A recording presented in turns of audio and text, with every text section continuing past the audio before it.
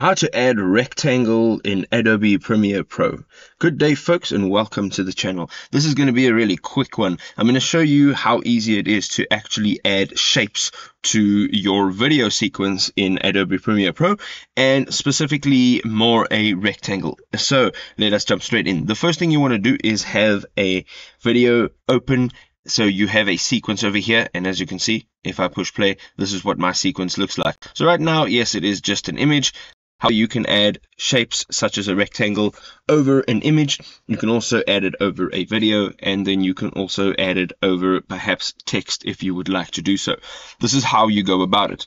On your toolbar over here, as you can see, you have a few tools. You're going to go down and you're going to look for the rectangle tool. Now, if you click on that, you will be able to go over to your sequence and you will be able to add a rectangle. So let us go ahead and let us add a rectangle over here. On your left hand side, you'll see an effects control panel. And right over here, it shows you exactly what is selected right now in gray and it says shape and it is named shape 1. So next to the eyeball icon there is an arrow. You can click on that and here you can define everything about the actual shape itself.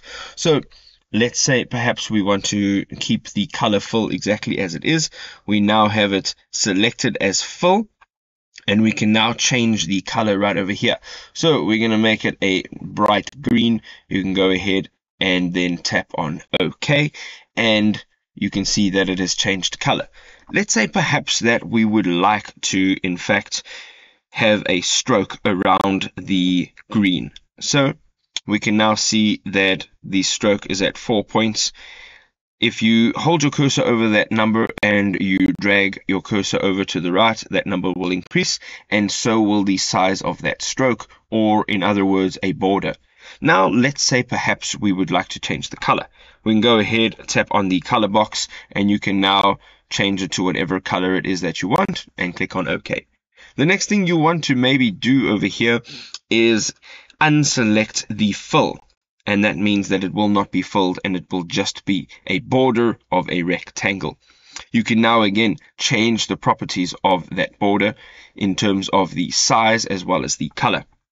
If you're going down now, you can also see that you can add a shadow. So if you click on that, there is now a shadow in on the rectangle, you can now change that color of the shadows. Let's say now that we would like to change the opacity, we can do so by using this top tool over here. We can also change the angle and then there is an offset. So if you click down here, you can actually change the offset of the shadow and you can see over here now that it has moved from the center of the rectangle offset to the right and to the bottom.